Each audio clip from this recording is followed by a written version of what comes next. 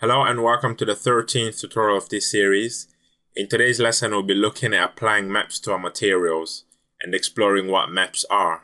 Now before I explain all this, I'll go around and show you the other parts of the material editor that we didn't look at last time. Let's go over to our toolbar and activate the material editor or alternatively you can use the letter M on your keyboard. Now in the last tutorial we mainly explored what happens up here so we managed to apply the material to an object. We managed to reset it. Uh, we explored a little bit on how to change the names. And today I basically want to focus from the shader basic parameters going down. Now what we've got in this drop box, our default will always be Blinn, and this is what we'll use most of the time.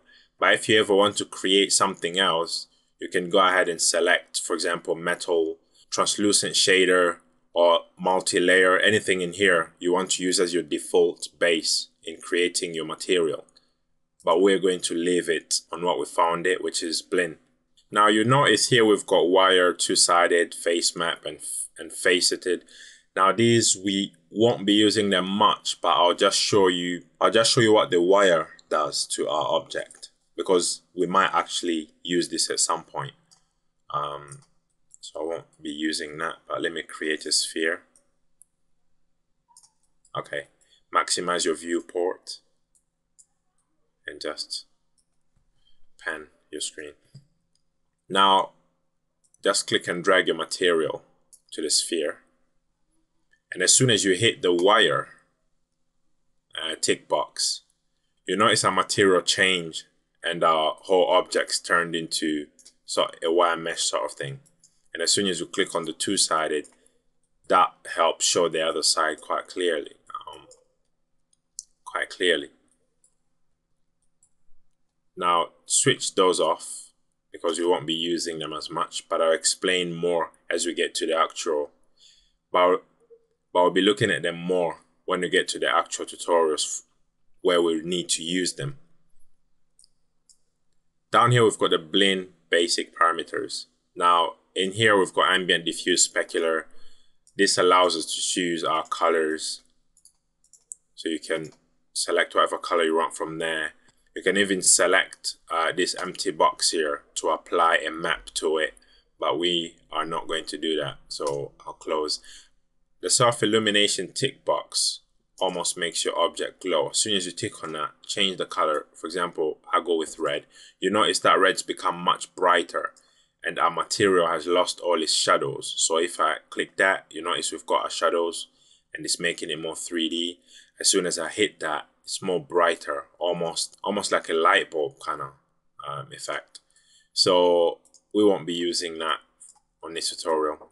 Right below it is the opacity. Now, as we decrease the opacity, we can see through our objects or whichever objects we've applied that particular material to. I can now see the box behind uh, this sphere uh, clearly. And as you increase your opacity, your object becomes more opaque. So that's pretty much what opacity does. And then we've got specular highlights right below. This allows us to control the glossiness and shininess of, of a material uh, when applied to an object. So for example, as I increase the specular level, you notice in here, we're getting a little, a little curve going up. And as soon as you let go, you notice our object's a bit more glossy. We've got a sort of highlight around here. And the glossiness area allows us to either decrease that size on our object or increase it by reducing the amount. So you can either enter an actual amount here or use the arrows, but the arrows are much easier. And the soften area, we're going to be exploring that in later tutorials when you actually create materials where we need to use that. Now down here, we've got a few different rollouts that you can just click on any of them and you drop down to review the parameters within it. But um, one of the most important ones you're going to be using is the maps rollout. This has a list of a few different things you can do to a material. You can just click on any one of this, select the map you want, and once you've applied it, control the visibility of that map on your material by going up and down these arrows. We are going to apply the material on our object and we'll be exploring how to apply a map to that material. So let's go ahead to, to an empty slot. So just click and drag it to, to our cube at the back. Now let's select that and make it slightly bigger. Um, just get your select and uniform scale.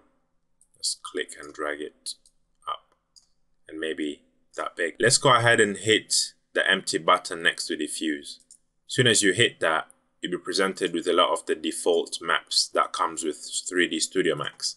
Now we want to use a normal image from our computer, so double click on bitmap and that will allow you to select whatever image you have on your computer. In this case, I'll be using um, an iPhone app I was working on. So just click open. As soon as I do that, you'll notice our material now has a bit of that map uh, showing. I double click, you'll notice my app there. So I'll close that.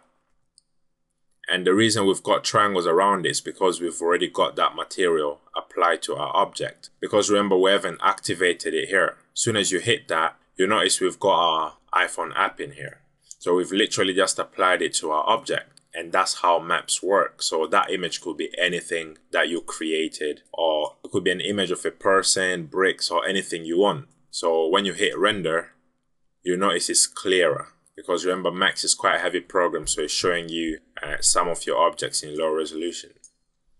So that's what we've created um, and I think for the purpose of this tutorial I'm going to stop it there. I don't want to confuse you too much um, but I want you to keep in mind that when we get to the relevant tutorials most of these fields will be explained in more details.